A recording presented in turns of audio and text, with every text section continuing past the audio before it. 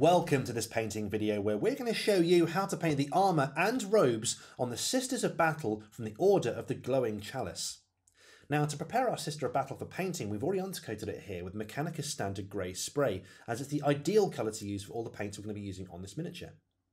Now the first area we're going to be painting, rather than the armour, is actually going to be the cream on the inside of the robes. We're doing this first as it's going to be quite a messy stage, so we're going to get it out of the way now so we can tidy up with other colours later on. The first colour I'm using here is Rakarth Flesh, and for this I've got my medium base brush. Let's take some Rakarth Flesh here from the pot and apply it to our palette. Now with a base paint like this, I'm going to be adding a little bit of water just to thin it down to make sure it goes on real smooth. There we go, that's perfect. And then onto our Sister of Battle. Here we're applying the Rakarth Flesh all over the inside of the robes like this. And you can see, as we're getting quite close to the armour, the chances are I'm going to hit part of the armour. That's not a problem. That's exactly why we're doing this first, so we can tidy it up later on. Make sure you get a nice smooth base coat of Rakarth flesh on the inside of the robes. You may need a second coat to do this, that's no problem. Just let the first one dry, then apply a second coat over the top. There we go, that's the Rakarth flesh base coat applied onto the inside of the robes. And you can see, as I said, I've hit some of the armour accidentally. Don't worry though, that's why we're doing it first. We'll be painting the armour later on. Okay, let's finish off the inside of the robes next with a wash of Seraphim Sepia mixed with Lahmian Medium. Once we've done that, we'll then be highlighting the cloth with Rakarth Flesh again. First of all, grab your medium shade brush and let's apply that Seraphim Sepia and Lahmian Medium mix. Let's take some Seraphim Sepia here from the pot and apply it to our palette here. Just one brushful should be enough. Then I'll wash the brush off to make sure there's absolutely no paint left on there at all. Use a bit of tissue paper there. And then one brushful of Lahmian Medium is all we need to thin down that Seraphim Sepia. We'll mix it in on our palette like so to create a really thin down Seraphim Sepia. Perfect. Then load the brush up and here onto the inside of the cloth, we're applying it now onto the areas we just painted. So we're just applying it all over the areas like this, being as neat as we can. You can see as we thinned down the Lahmian medium, it's going on really thinly, which is exactly what we want. Just make sure it doesn't pull too heavily in any of the recesses. We want a nice subtle effect here.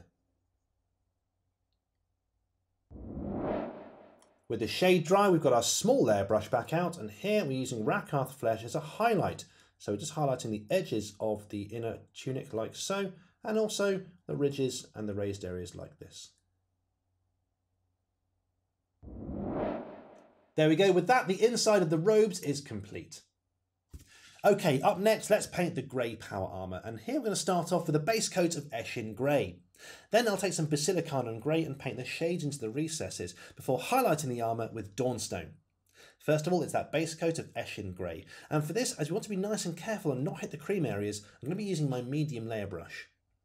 So let's take some Eshin Grey here from the pot and onto the palettes now. Here we're painting this over quite a large area, so I'm going to thin it down to make sure it goes on real smooth.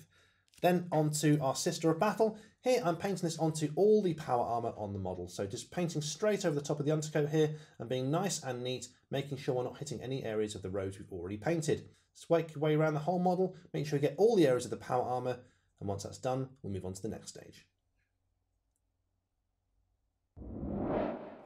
With the base coat applied, I've now got some Basilicanum Grey contrast paint. And here, with a small layer brush, I'm going to very carefully paint it into the recesses all over the armour. That's the sunken areas such as the panel lines here in between the plates of armour and anywhere else on the model where there's a recess. So we're just working our way around all the armour like this, very carefully, just like this.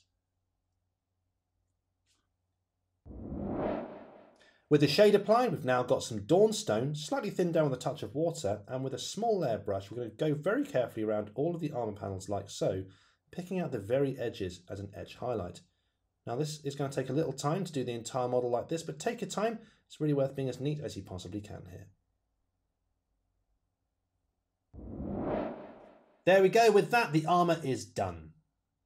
Okay, let's move on to painting the red robes, and for this we'll start off with a contrast paint, Flesh Tearers Red, which we're going to apply straight over the undercoat. Then once that's dry, we'll take some Basilicanum Grey and wash it into the deepest recesses before layering up with Khorne Red and finally a highlight of Evil Sunz Scarlet.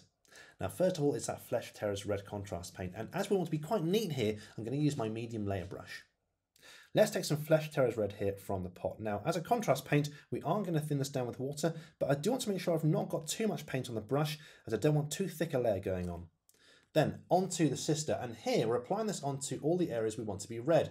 We're looking for a nice even coat here of Flesh Tearers Red, so don't allow it to pull too much into the recesses, and be super careful, of course, to not hit the areas of armour or the cream cloth we've already painted. Just take your time here and be nice and neat.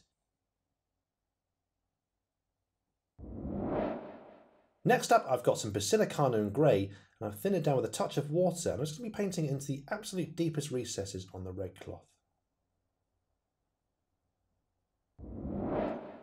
Next up, I've got Khorne Red, and here I'm using my medium layer brush. I've thinned that Khorne Red quite a bit down with a bit of water, and now I'm painting on as a layer over the top. So what that means is we're just leaving those darker recesses the original colour, and painting the higher areas of the cloth here with Khorne Red.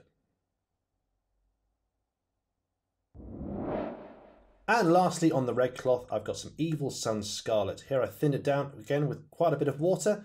Now it's going to be painting on a highlight here, picking out the absolute raised areas of the cloth and also the edges as well. Take your time here and try and be as neat as you possibly can. So there we go, with the highlight done, that's the red robes complete. And that's how you can paint the armour and robes on your Sisters of Battle from the Order of the Glowing Chalice. Hope you've enjoyed this video. Happy painting.